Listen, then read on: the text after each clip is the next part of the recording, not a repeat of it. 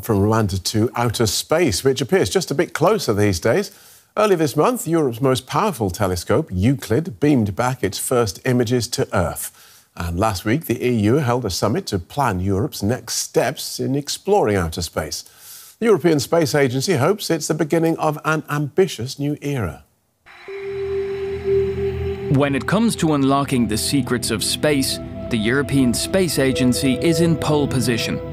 This year it launched not one but two high profile research missions. The first is Euclid. Its job is to measure exactly how the universe expanded 10 billion years ago. Recently, its first images were published. The job of the space probe JUICE is to investigate the possibility of extraterrestrial life on Jupiter's icy moons. Then there's Copernicus, the most ambitious program to observe planet Earth. In the future, ESA wants to do more than deliver satellite data. It also wants to use artificial intelligence to predict the consequences of environmental pollution and destruction. Another goal to be a pioneer in the prevention of space junk. The plan is to extend the lifespan of ESA satellites and, after their mission, let them burn up without leaving a trace in the atmosphere. In 2026, the agency wants to catch a 112 kilogram piece of debris from a rocket for the first time. In manned space travel, however, ESA has never outgrown the role of junior partner for NASA. It currently supplies the so called service module for the US's Orion capsule, along with important building blocks for a planned space station that will orbit the moon. In exchange, European astronauts will likely be able to join NASA's missions to the moon. Three missions are currently under discussion. A huge problem for ESA is rockets. The agency is currently dependent on providers like SpaceX, as its own launch systems aren't ready yet. Ariane 6 is expected to lift off in 2024 at the earliest, four years behind schedule. Let's take a closer look at this with uh, Joseph Aschbacher, who's Director General of the European Space Agency. And Germany's Alexander Gerst has spent about a, a year on the International Space Station during two missions. Uh, welcome both. Shaking hands with an actual spaceman, so this hand won't get washed again quickly. Um, let's start with you, uh, Joseph Aschbacher. Um, we, we, heard in the report that, that Europe hopes that this year that this is the start of an ambitious new era. To achieve what?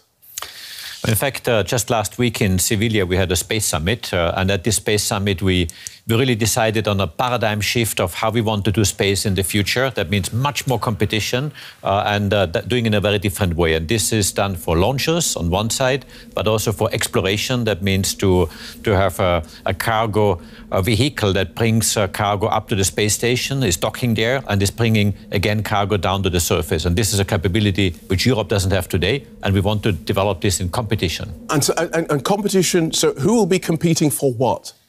Industry will be competing. So we as ESA, we, we will be the anchor customer. Right. We will buy a service, but we will let industry do it in the best possible way. In a way, we are doing it uh, in a similar way as NASA has done with uh, in the US uh, with the COTS program, out of which, uh, as we all know, Uh, SpaceX uh, with uh, Falcon 9 uh, was uh, was developing and really developing into a very very impressive launcher. And you, presumably, your, your hope is that this will be Euro these will be European companies that, that they that will this. have to be European companies because as ESA we are spending European taxpayers' money. That means European companies will be allowed to compete. Okay, um, Alexander uh, Gerst, you've had two runs up to the International Space Agency, International Space Station, including one as commander. So where do you want to go next? yeah, indeed, it was a great, great privilege to fly to the International Space Station for Europe to do experiments uh, to bring back uh, to the European citizen. We did about 700 in different fields of science, and like to try to help uh, uh prevent diseases, to help with new materials.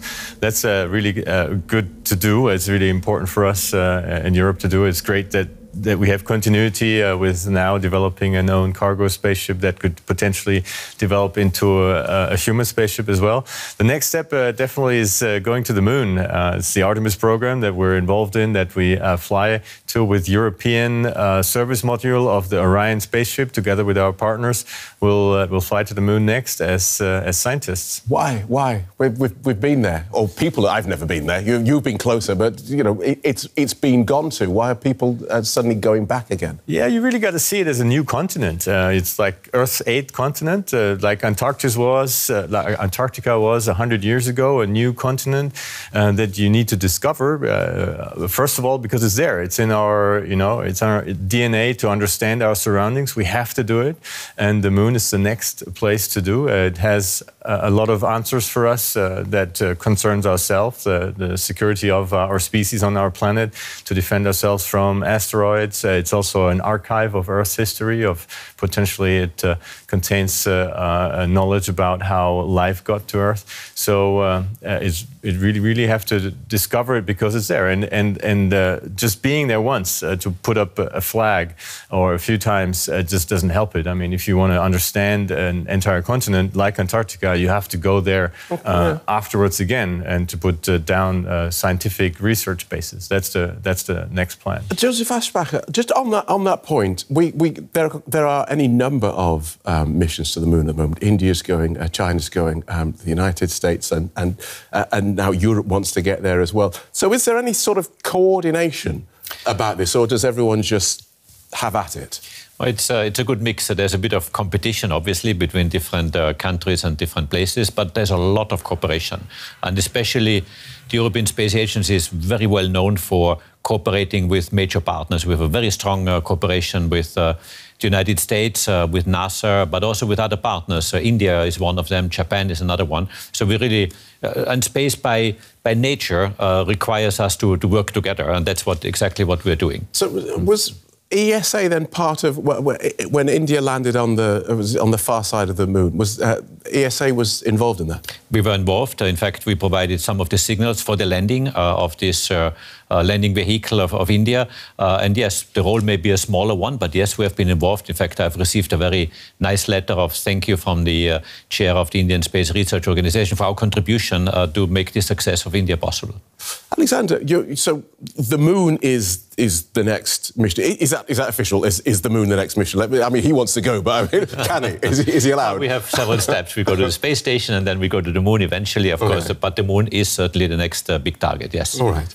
And the training sounds intriguing in Lanzarote and Norway. Yeah, it's uh, it's one of the things that all European astronauts do is we try to get ourselves ready for uh, uh, such a mission or such missions that come up in the future. And one of it is to get everybody on a sort of an equal level in terms of uh, doing science on the moon's surface. Uh, some of us have already a background in, uh, like me, in geophysics. Actually, you're speaking to two geophysicists here. Um, so I've, I've worked in the field on volcanoes, but not all of my colleagues have. And so part of the training is to get everyone on an equal level so that that we, once we are on the surface of the moon, can work together with scientists who are back on Earth so that we're their eyes and ears and like sensors, uh, geological sensors on the uh, surface, so that we're efficient in communicating with them so we can bring back the right uh, rocks for further um, uh, research on Earth. And uh, Alex mentioned in, in his first uh, in his first answer that there's a lot of uh, science and um, medical questions that can be answered in, in space, which, which, sort of brings me to, to my question for you, which is about I think that, that ESA's 2023 budget is just over seven billion euros. So, what are we getting in, in Europe for all that money besides some spectacular photos? Uh, we're getting a lot, actually. It's, um, if you divide uh, the 7 billion by the number of people in Europe, about 500 million, okay. including our oh, member states. Let me get a pen, yes. It's, a, it's, it's about 14 euros per person per year. And that is uh, the prices of, of, a ticket, of a cinema ticket. But ESA is developing big cinema for this uh, 14 euros per, per Okay, per I, like the analogy. Let, let, me push you on that, though. So, so what are the tangible benefits that, that we're deriving from, from you jaunting off into, well, perhaps not you, but you jaunting off into space? I mean, we're doing so much more than just uh, astronauts. Astronauts, of course, are the most visible part of it, but uh, about half of our budget of this 7 billion is spent on Earth observation, telecommunication and navigation, which are really services or the use of satellites for people on planet Earth, especially for climate monitoring, for agriculture, for forestry. So we have uh, estimates uh, which are done by economists, and they say one euro invested in uh, into our space programs bring back about three euros, five euros, in some cases even ten euros back to the economy because new services are developed, new business is opened, and uh, if you invest in space, it's going way beyond the space segment. It has a geopolitical dimension, it has an economic dimension, it keeps talents uh, in Europe, uh, but also security dimension, and it really is okay. a mix of it, and this really is is is good value for money for for the economy. Quick word about. Um ecological matters because, of course, you sending rockets into space, that does not look like it's going to be good for anyone's carbon footprint. Um, what are you doing to minimize that? First of all, we're doing a lot of research to be even greener and more sustainable in our in our space transportation, but also all we do. But we have one of the best, if not the best, uh, uh, program using satellites to monitor our planet. We call it to take the pulse of our planet uh, with the Copernicus program, uh, but also the Earth Explorers and the meteorological missions. And they are necessary to understand our planet, our climate, and uh, to mitigate and uh, to adapt to our climate, but also to understand right. how it works. Good talking um, to you. Thank you so much for, for coming in and joining us. Director General of the European Space Agency, Joseph Aschbacher, and astronaut Alexander Gerst. Thank you.